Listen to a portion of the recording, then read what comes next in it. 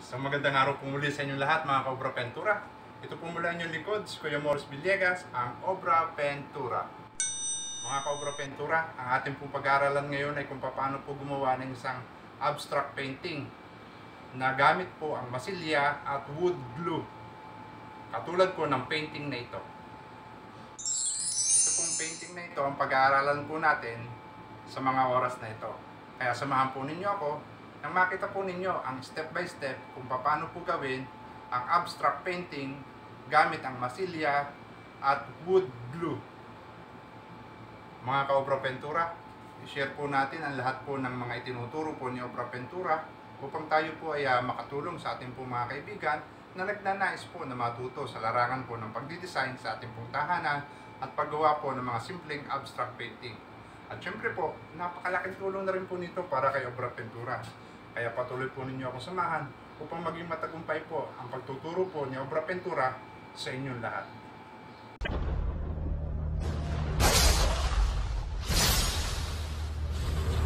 Pintor kami, pintor kami, walang hindi kayang gawin. Pintor kami, pintor kami, walang hindi kayang gawin. Siyempre po mga ka-Obra Pentura, bago po tayo magsimula, ay kinakailangan pong yung board po natin ay ah, nalagyan na po natin ng drawing na lapis para hindi na po tayo maligaw sa ating pong gagawing design. Katulad po nito. Yan. Nalagyan na po natin siya ng lapis para hindi na po tayo maligaw sa ating pong gagawin. At pag nakapag-drawing na po tayo mga Cobra Pentura, gagamit po tayo ng ah, masilya. Ito po yung masilya po natin. At ito naman po yung ah, wood glue. Ito po yung glue na gagamitin natin, wood glue. Ipag-mimix lang po natin itong masilya tsaka ito pong wood glue para po mas matibay po yung kapit. At ilalagay po natin sa isa pong plastic. Bahala po kayo kung ano po yung plastic na gusto po ninyong gamitin. Basta siguraduhin po ninyo na yung dulo po ng plastic ay ma- maganda. So dito po natin ilalagay yung masilya at yung wood glue. So yan po mga kaobra pentura. Ayan po yung ating ah, wood putty or ah, masilya. Ngayon po hahaluan po natin siya ng ah, glue na ginagamit po natin sa pangdidikit po ng kahoy. Yan pong ah, wood glue or wood adhesive.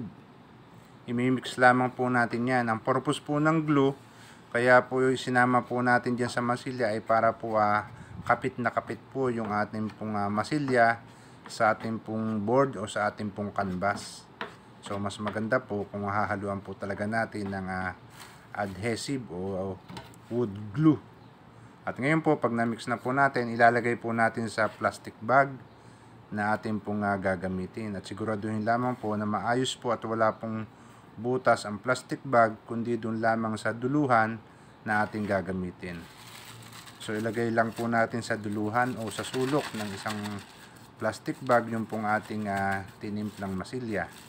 At yan pong pinakadulo ay ah, puputulin po natin yan. Bubutasan po natin ng kapiraso para doon po lumabas yung pong ating pong masilya na may halong wood glue. Susugin lang po natin mga kaobra pentura yung pong ah, idrenowing po nating lapis. Isusog po natin itong masilya na may halong ah, wood glue. Hindi po baling lumampas tayo o hindi po baling mapalaki o mapaliit yung pong ating pagsusog. Ang importante lamang po ay makuha po natin yung pong hugis ng ating pong ginagawang abstract painting. So ganun po mga Cobra Pentura at ah, siguraduhin po natin na talaga pong ah, nakadikit po yung ating pong ah, masilya doon po sa canvas o sa board na ating pong ginagawa. Kaya kinakailangan po ay nakalapat po talaga yung dulo po nung ah, plastic na meron pong lamang ah, wood glue or ah, putty. Siguraduhin lamang po natin na masususog po natin ang lahat po ng mga lapis na iginuhit natin diyan kanina upang ah, lumabas po ang ah, tunay na itsura po ng ating pong abstract painting na ginagawa. Dapat po ay ah, wala po tayong malilikdangan upang yung ganda ng ating abstract ay makita. So ganun lang po mga Cobra Pentura. at siguraduhin po na talaga pong nakadikit ang lahat ng ating pong masilya o ng ating wood glue sa board o sa canvas na ating ginagawa. At yan po mga Cobra Pentura, kailangan po tayong gumamit ng kutsarita upang mapalapat po natin yung pong tabihan po ng ating pong ah, masilya na inilagay. At yan po ay ah, magsisilbing ugat-ugat na rin po nung pong mga bulaklak na ating pong ginawa. Magkakaroon po yan ng likhang abstract na mga ugat sa pamamagitan po ng paglalapat po natin ng kutsarita. Kaya mga Cobra Pentura, sabi ko nga po sa inyo ay lagi pong kasama ang imahinasyon sa ating pong ginagawang mga abstract upang makalikha po tayo ng maayos, maganda at kaakit-akit na abstract painting. So ganun lang po, palapatin lang po natin mabuti upang masigurado po natin na hindi po aangat ang ating pong masilya. Ngayon po mga Cobra Ventura, napatuyo na po natin yung masilya na hinaloan po natin ng wood glue. Ngayon po ay papatungan po natin siya ng ah, flat na pintura na kulay itim. Ito po yung magiging pinaka-background niya, kulay itim po na flat na pintura.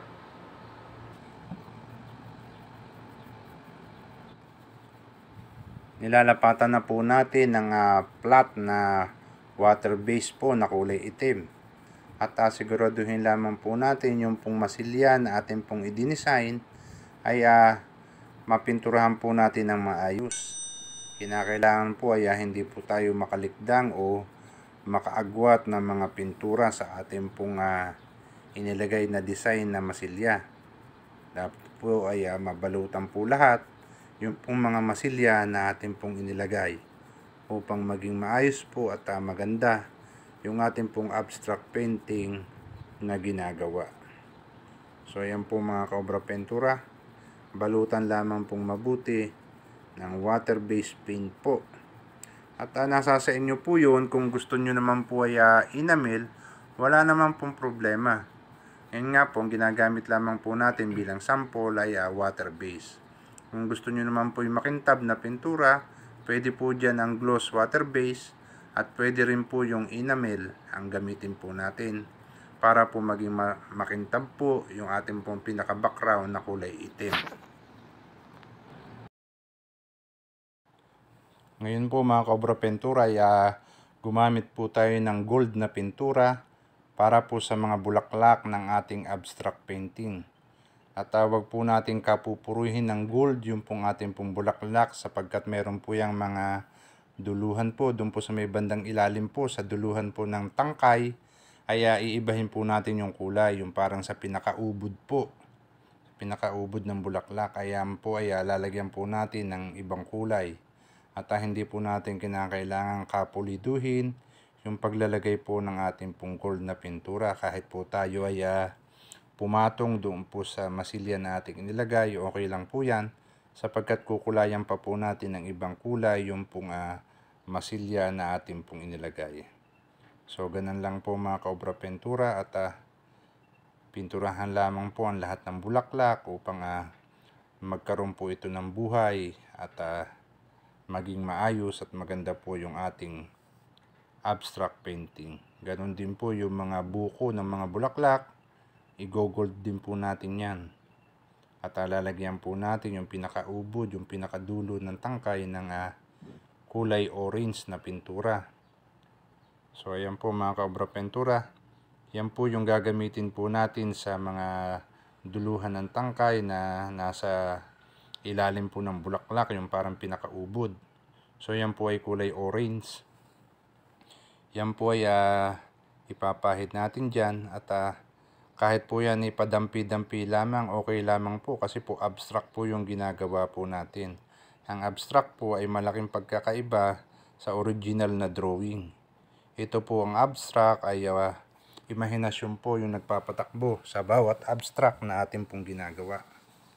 Kaya okay lamang po kahit uh, padampi-dampi lamang ang paglalagay po natin ng kulay orange na pintura upang ito lamang po ay magsilbing ubod o pinakapuno ng, ng ating pong bulaklak na inilagay.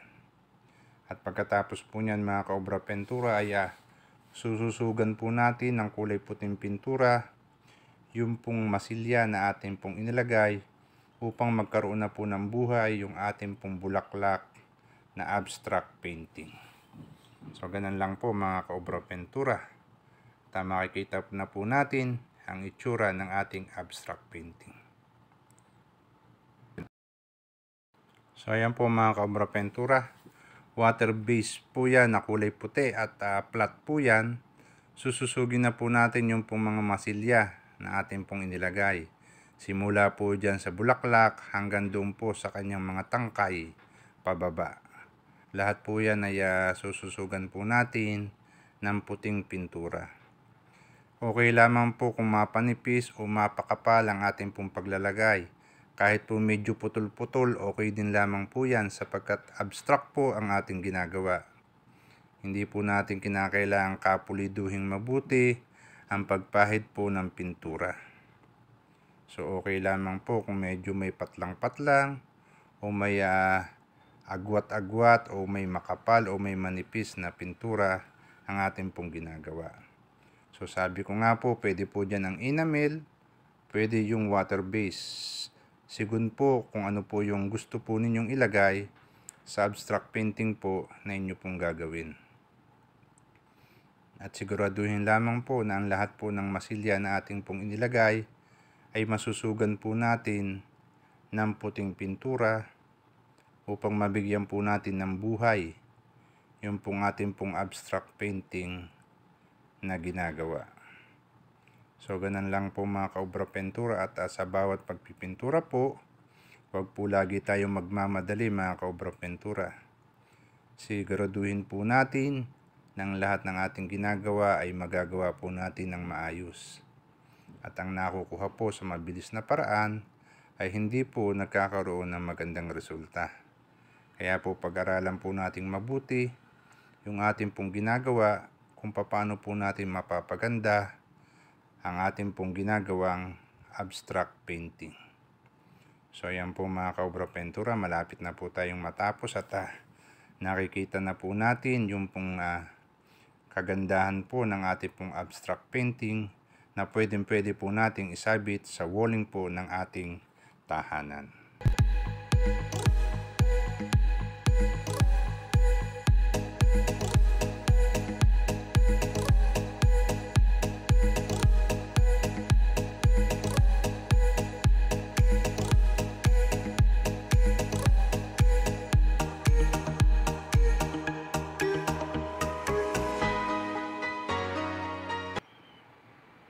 Ako Bro Pentura.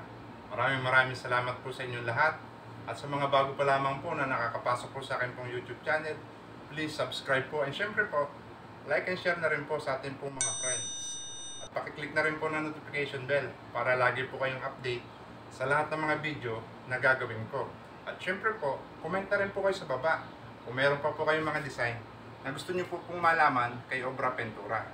Ito po mula inyong lingkod, si Kuya Morris Villegas, ang Obra Pentura. God bless po.